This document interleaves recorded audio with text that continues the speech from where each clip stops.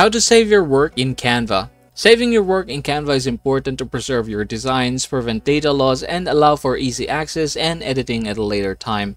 Now, I'm going to show you how to do that one. So here is my Canva. I'm just going to scroll down here and basically I'm going to show you my designs. So here are the recent ones.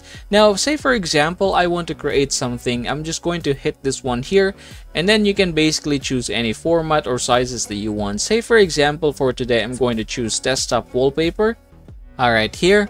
Now I'm going to go ahead and click here, text, and then I'm going to add the text box. Now I'm going to try to write the title of this video, how to save your work in Canva, and then I'm just going to make it a bit bigger. Alright, there you go. Now what I'm going to do in order to save this one is just basically click home. And you're done saving it. Yeah, that's it. So if I'm going to scroll down here, you should see that this one here, it says recent designs. This is untitled design and you can see that it's not here. But uh, if I'm going to open this one, there you go. So this is the design itself.